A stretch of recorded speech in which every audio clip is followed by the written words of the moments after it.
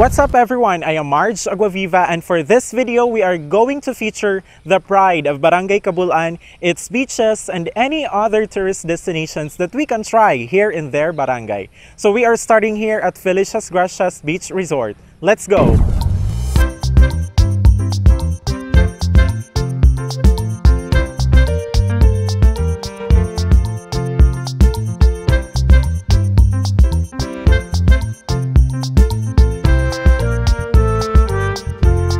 So ani kita yan na ha Felicias Gracias Beach Resort. And era mga features in era beach resort are as follows. Ang Felicias Gracias Beach Resort waray entrance fee.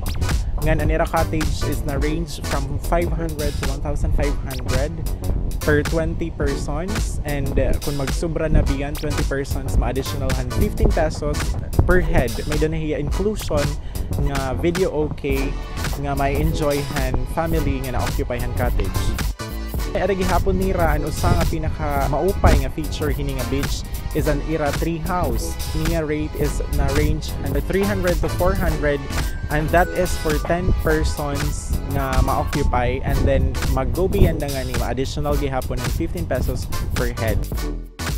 Ang mga cottage nga an, under Hatalisayon tree. Ang duha nga gagmay is na range siya from 300 then ang nga is 400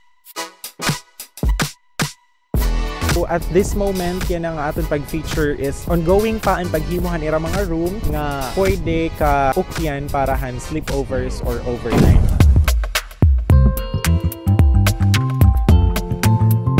Few distance away from Felicias Gracias is maaabot naton ang newly reopened nga Tia Peppings White Beach Resort here in Sinayawan, Cabulan, Capoacan, Leyte yan baga pinaka pioneering beach din ha coastal area han Kapookan nga close inihiya kadali tapos yan na bumalik gihapon. So inihiya nga beach is known for its white sand dinhi ha Tia Pepings White Beach Resort ano is may ada kita mga cottage nga 500 pesos for each cottage. May na niya kuryente pwede kang makagdarahan mga speakers nga pwede niyo kantahan.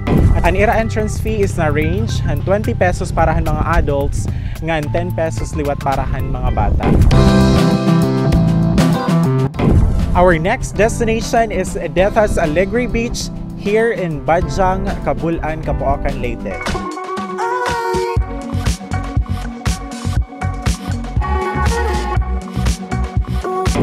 Detas Alegre Beach is perfect for swimming and of course it's also perfect for camping with your barkada or family.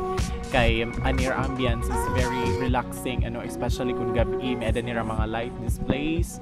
And at the same time may po nila mga decorations nga related to beach nga it somehow their edge among uh, the other kuan beach here in coastal uh, specifically here in Cabulan in terms of entrance fee may nira rate nga tag 10 pesos per head especially kung mag uh, picture taking lang anhi ngan kung ma-avail naman han cottage ang nira cottage is na range from 250 to 350 kung uh, mag-overnight ka mo nga ma-stay ha cottage until 12 p.m. so may additional nirang 100 pesos. Then kung mag-aga naman is ma-additional kamuhan 200 pesos.